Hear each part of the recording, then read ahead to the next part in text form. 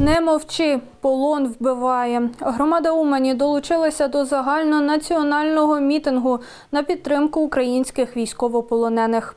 На мирну акцію на центральній площі міста прийшли рідні військових, які досі знаходяться в полоні, безвісти зниклих та небайдужі. Учасники мітингу вишикувались у колони на узбіччі центральної вулиці з плакатами та українськими прапорами. Матір морпіха Євгена Ганжали розповідає, він захищав Маріуполь. У квітні 22-го року потрапив у полон. Відтоді це все, що їй відомо про сина. Тож жінка звертається і до громадськості, і до влади з проханням діяти. Прошу пана президента, прошу Верховну Раду, допоможіть нам вернути 36-ту бригаду морпіхів. Ми дуже просимо вас. Поверніть наших дітей додому. Пані Світлана чекає на повернення сина Богдана. Зараз йому 23, із них понад два роки хлопець знаходиться в полоні. Такий день дуже страшний е, був два роки тому.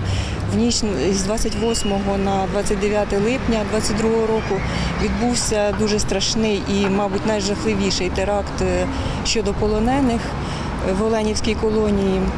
193 азовця були переведені у окремий ангар вночі. Їх підло підірвали, і 53 людини, як мінімум, загинули в цей день. Це всі були е, бійці полку Азов.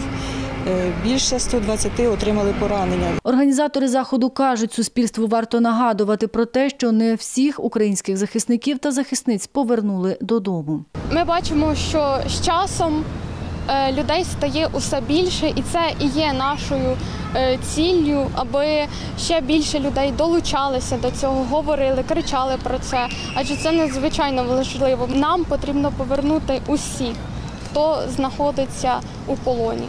Нам потрібні усі наші українці. Інші учасники мітингу зазначають, аби справа зрушила з місця, потрібен розголос і закликають не бути байдужими і поширювати інформацію про тих, хто захищав батьківщину і достойний повернутися на рідну землю.